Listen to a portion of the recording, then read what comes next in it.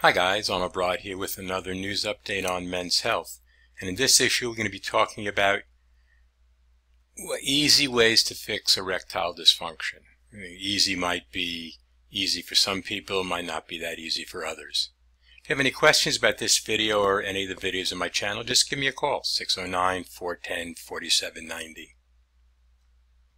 So the first method, according to a Harvard study, was 30 minutes of walking a day was linked to a 41% drop in the risk of ED, which also means if you have ED, which if you're watching this video you probably do, a good chance that it'll help reverse ED. So that's the Harvard study. Another study from the Massachusetts Male Aging Study said that eating a diet rich in fruits, vegetables, whole grains, and fish with fewer processed meats and refined grains decrease the likelihood of ED, which also means the likelihood that it will help ED if you have it. High blood pressure, high blood sugar, high cholesterol, and high triglycerides, which I was going to say it's the trifecta of bad things, but there's four of them, but I mean, that's, that's pretty much it can all damage arteries in the heart, in the brain, and in the penis, which causes erectile dysfunction.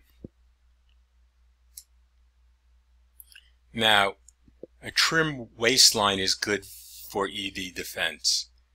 Now, the numbers they have here are a little weird in my mind. It says here a man with 42 inch waist is 50% more likely to have ED than one with a 32 inch waist.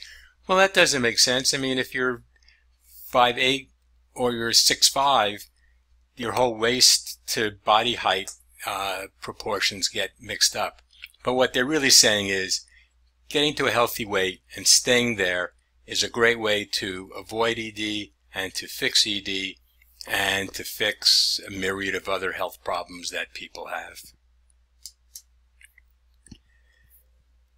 A really great natural way to work with fixing ED and cardiovascular issues in general is something called nitric oxide therapy.